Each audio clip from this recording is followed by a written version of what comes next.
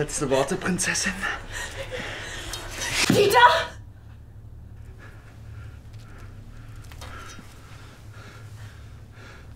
Jennifer? Goethe-Schule. Ethik-Leistungskurs. Entschuldige, ich habe dich durch die Maske gerade gar nicht erkannt. Was hast du hier verloren? Ähm, Naja. War echt voll schön, dich wiederzusehen, aber ich muss jetzt leider weitermachen. weitermachen? Womit? Na, töten. Was sonst? Das ist mein Beruf. Dieter, warte! Töten ist dein Beruf? Ja?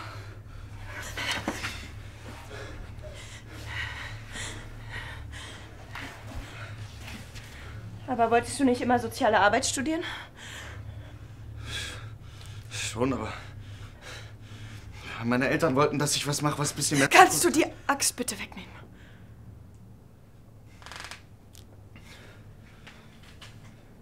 Das ist die Axt von meinem Vater. Die hat er selber gemacht und sie dann an mich weitergegeben. Die ist was ganz Besonderes. Die ist sehr hübsch.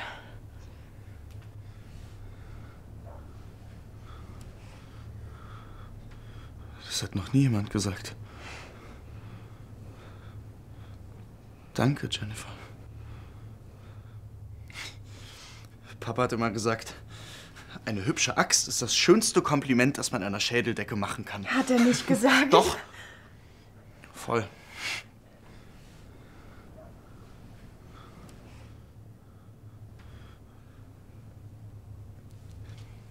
Schau mal. Schau mal.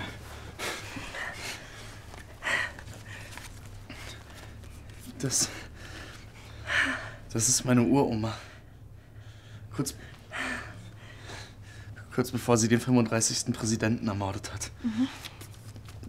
Und das ist mein Opa, nachdem er den doppelten Schädelspalter erfunden hat. Den wollte ich heute echt gern mal ausprobieren. Den doppelten Schädelspalter? Klingt nach einem guten Drink, hä? Stimmt.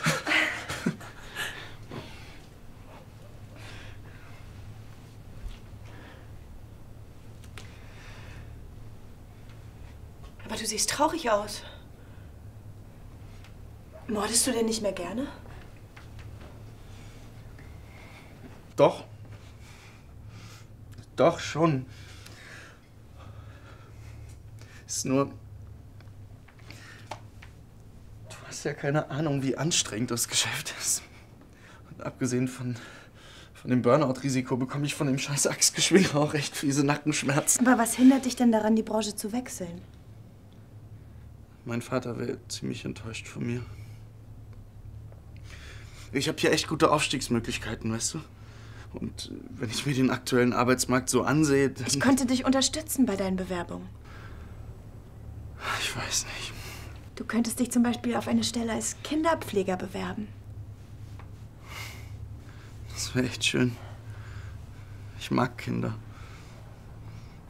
Weiche Schädeldecken. Na schau, ein Mann mit deinen Kompetenzen. Hm?